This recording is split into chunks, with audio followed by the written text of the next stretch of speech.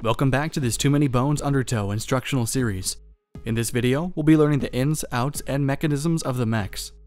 Just like the Krellin in the previous video, these dastardly little robots are only found in Undertow, and they are commonly used on the land side of the battle mat.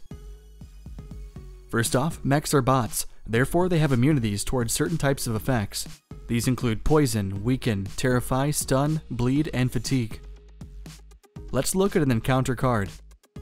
Mechs are included in the battle queue whenever they are indicated on an encounter. Just like the Krellin, they can be either added to the battle queue or included in the battle queue. Add means they will be additional to the already figured baddie points. Include means that they displace a portion of the baddie points.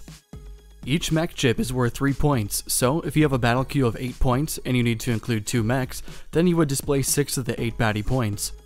This battle would consist of 2 mechs and 2 1 point baddies. Mechs are always placed on the bottom of the baddie stack, and every time a mech needs to enter the battle, we will roll the included d6. This time, we rolled a 5, so we will place it on that space in the mech starting position. The mech starting positions are located on the sides of the battle mat and alternate between them, increasing in value. When mechs are placed, they take the lane marker chip along with their health chips and initiative die. If we wanted to place our mech in a space, but that space was already occupied, we would place it in one value up. In our example, we would place the mech swarm at value 6 since value 5 is already taken by Spiderbot 4.0. Let's talk about mech movement. Mechs move like conventional baddies, except that they move through and onto the mech starting positions. They can move through any space on the battle mat, and they also have two movement like any other baddie. If a non-mech baddie is somehow displaced onto a mech starting space, it must use its first move action to move out. It may also remain and attack if it is adjacent to the opposing unit. While on land battles, Gearlocs cannot purposely move onto any mech starting positions, but may be displaced onto one by a skill, like Swap. The Gearloc must move out on its first move action, and cannot move onto another mech starting position.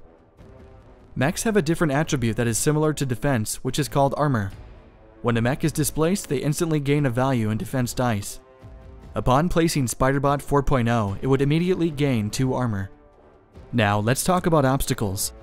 These are obstacle chips, and four are included in the game.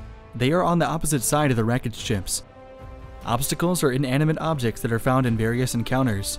They prohibit movement onto or through them, and some may have HP. Baddies do not interact with obstacles. Obstacles that have HP may only be attacked by Gearlocs or allies and only using attack dice. If an obstacle has HP and the final health chip is removed, the obstacle is removed as well. If an obstacle starts with no health, then it cannot be removed. Encounters that include obstacles show a graphic on the encounter card, like this.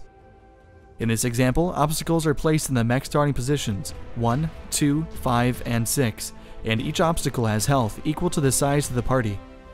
And that's it for mechs and obstacles. If you have any questions, feel free to leave them below. If not, don't forget to like, subscribe, and check out my Patreon link below to support the making of these videos.